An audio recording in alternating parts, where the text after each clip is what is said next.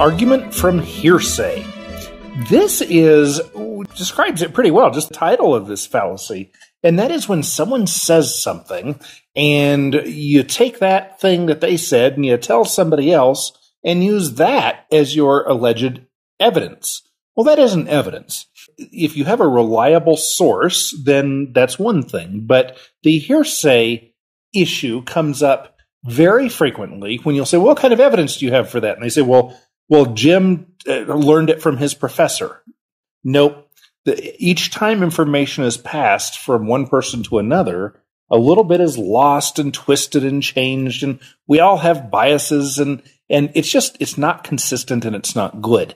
So don't trust it, and really watch out when you hear something second or third or fourth or eighteenth hand you might be hearing the argument from hearsay.